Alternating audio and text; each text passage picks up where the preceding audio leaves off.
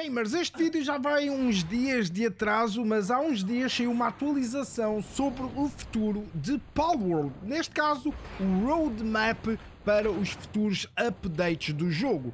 Nenhum destes updates tem ainda data confirmada, mas algumas das coisas que parece que o estúdio está a querer fazer parece ser interessante. E vamos dar uma vista de olhos a algumas destas atualizações que eles querem fazer no futuro do jogo. Uma coisa para aqueles que não sabem, a versão da Xbox e do PC são um tanto ou quanto diferentes. Como eles têm que ser aprovados pela Microsoft para poderem atualizar o jogo na consola, a versão do jogo não é a mesma versão com a Steam, por isso há algumas coisas que a Steam tem que não existe na versão da Xbox, como por exemplo dar nome aos vossos paus ou até mesmo dar nome à vossa personagem e entre outras coisas. Por isso, muitos destes updates, destas atualizações, irão vir muito antes para a Steam do que irão vir para a Xbox, a não ser que eles façam crossplay, aí vão ter que atualizar o jogo ao mesmo tempo de uma e da outra, tendo o jogo a mesma versão. Mas com isso dito, vamos lá ver então o que é que o roadmap de Palworld tem para nós no futuro. Uma das adições mais esperadas por alguns jogadores vai ser o modo Arena PVP, ou seja, jogador contra jogador. Isto promete permitir que os jogadores testem as suas habilidades em batalhas de paus sem barreiras. Mapas e modos de jogo especiais servirão de cenário para competidores casuais e hardcore. A Arena apresentará uma maneira totalmente nova de interagir com domadores rivais.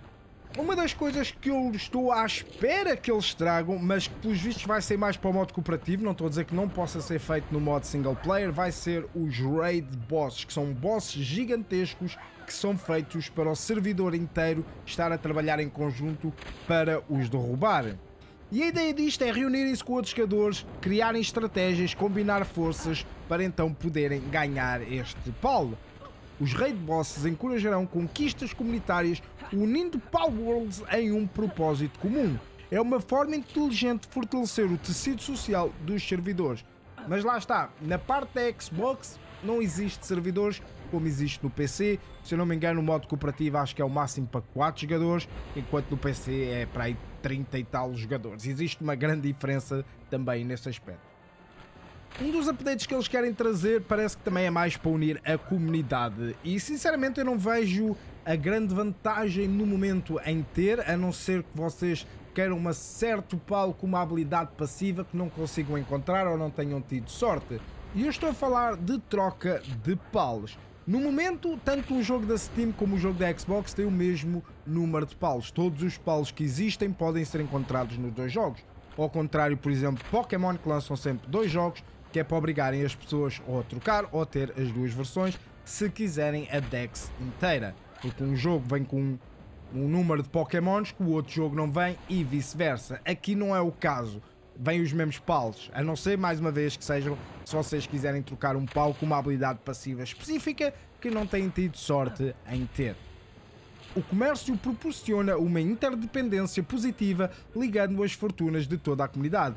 Também oferece novos caminhos de amizade, além de lutar e fazer missões juntos. A parte de fazer missões juntos, eu espero que seja mesmo algo. Palworld não é conhecido por ter aquela grande história. A história roda em derrubar as torres que existem no mapa, ter de derrotar aqueles bosses. Eu adorava ver se houvesse missões específicas ou até mesmo um modo história mais tarde. Algo que eles querem também rever é a revisão do sistema de construção. No momento não está nada mal para um jogo que está em acesso antecipado. Tem alguns quês, isso é verdade, mas para um acesso antecipado está realmente muito bom. Mas no momento os detalhes são escassos, mas o Pocket Pair quer suavizar a mecânica de construção. E como eu estava a dizer, do jeito que está, o sistema dá conta do recado, mas tem ainda algumas arestas que precisam de ser polidas e eu espero que no futuro venha a acontecer. A Pocket Pair provavelmente quer visar e agilizar processos e expandir opções. Quaisquer melhorias seriam bem-vindas, já que a construção é essencial para abrigos, fazendas, fábricas e muito mais. Poder ter fábricas automáticas gigantescas seria ideal. Fundações mais robustas aqui permitirão criação mais grandiosas. No momento também só se pode construir, se eu não me engano, madeira e pedra. No futuro, quem sabe, se não se pode construir como tal. Palworld ainda está em acesso antecipado e do que eu li parece que eles vão manter assim durante um ano até lançarem oficialmente o jogo. Uma das coisas que eles também querem lançar é novos conteúdos, neste caso mais palos, que no momento a PAL Deck só tem 111 palos, novas áreas e novos edifícios. Este gotujamento de novos ativos dará vida contínua à jornada. Sempre haverá novas fronteiras e possibilidades no horizonte.